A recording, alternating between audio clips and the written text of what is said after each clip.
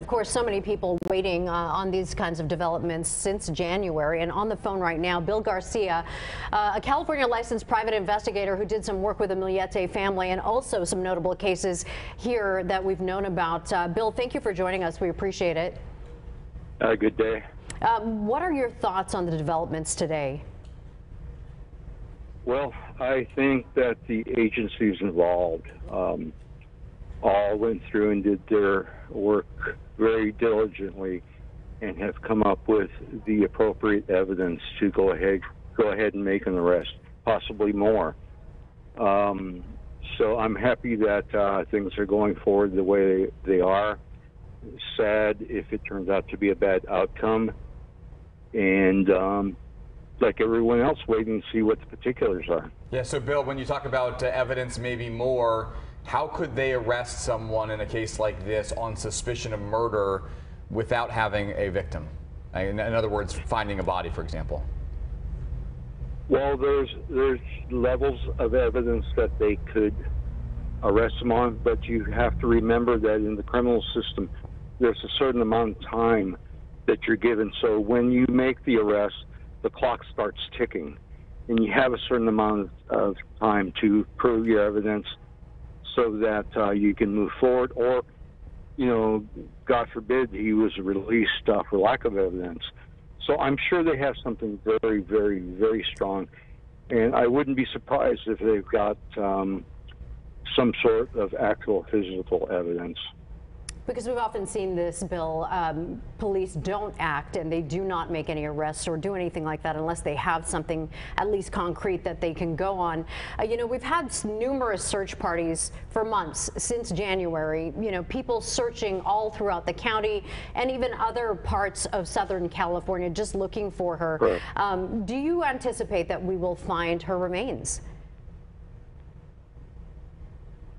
To be honest, I wouldn't be surprised if we get a surprise from law enforcement because they have been working so diligently.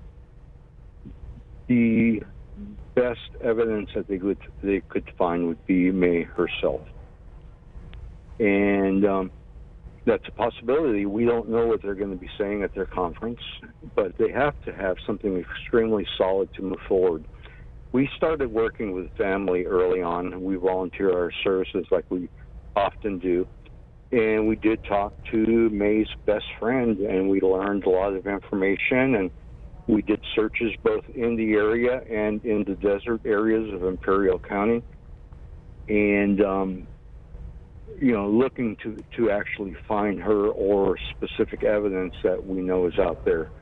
Um, so it could be used by law enforcement.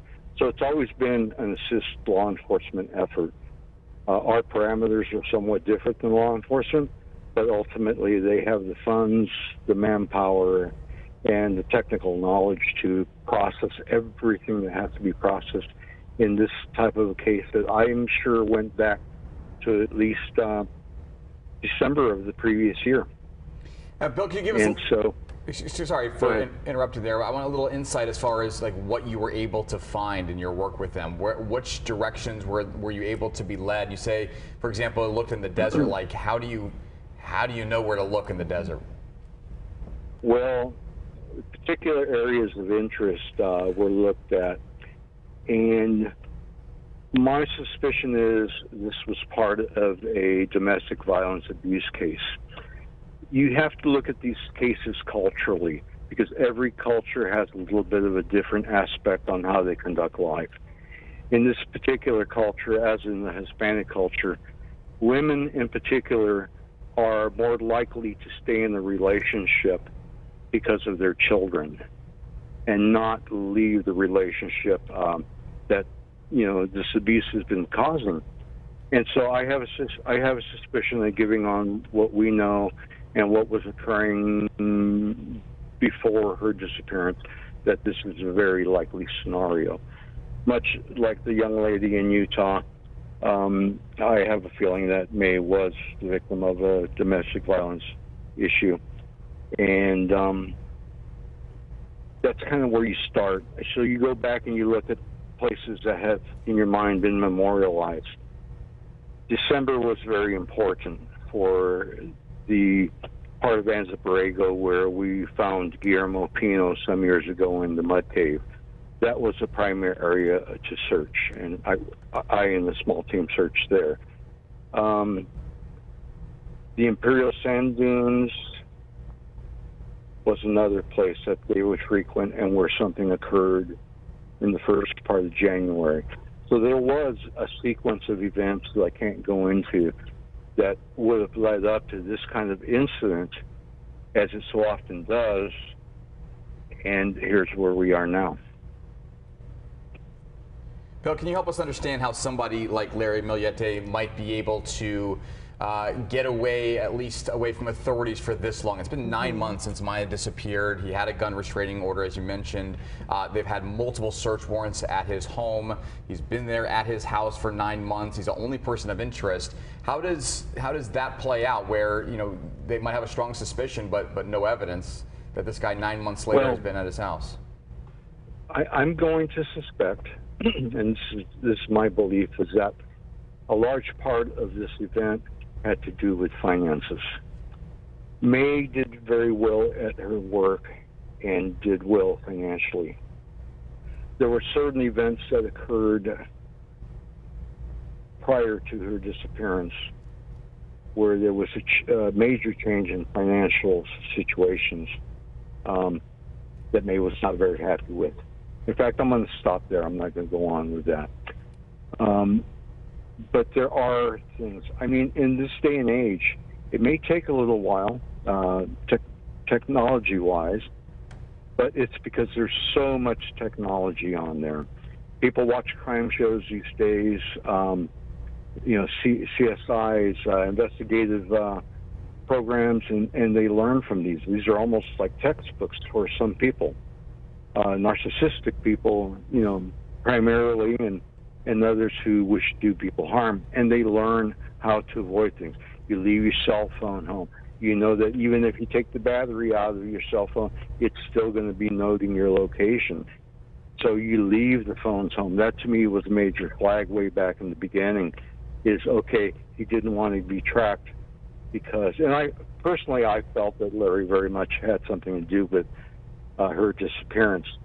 And so the fact that the cell phones left home, it's not going to track along with where you go. So to me, that's a red flag. There's a lot of little indicators that show to me throughout the process that, you know what, this was planned. This wasn't spur of the moment. They've been together since they were 14 years old. Uh, people get tired in relationships, but instead of breaking up and going on with their lives, you know, some stay in a relationship for the betterment of their children Others take advantage because they know what they can get away with, as I believe occurred in this case. Um, even though I, am not in the area any longer, uh, whenever we have a, a lead or possibility, we sometimes we'll check in with uh, certain people and then, you know, quietly go about it and do a search. But uh, I think we're going to get a, a real surprise because they didn't make an arrest lightly. There's something major that's going to come forward and I suspect uh, everything's going to unravel if it hasn't already. We don't know that, and so um, we're all very hopeful that she is found if she hasn't been found already. All right, uh, Bill Garcia. Certainly, they have been close uh, to uh, making steps forward. This obviously a major step mm -hmm. forward in this case. Bill Garcia, who worked with the Millete family on trying to find Maya throughout. Thank you so much for the insight. We appreciate uh, a lot of you know information as we try to understand exactly what may have led to this point here over nine months. We invite everybody at home to stay with us here on Fox 5 for developments in this breaking news story. We're getting new developments all throughout the day here. There is a news conference that is scheduled for 3:30 that we're going to bring you live here on air. You can also follow along on the Fox 5 San Diego mobile app. We're going to take a quick quick break here. We'll be right back on the Fox 5 News at 1.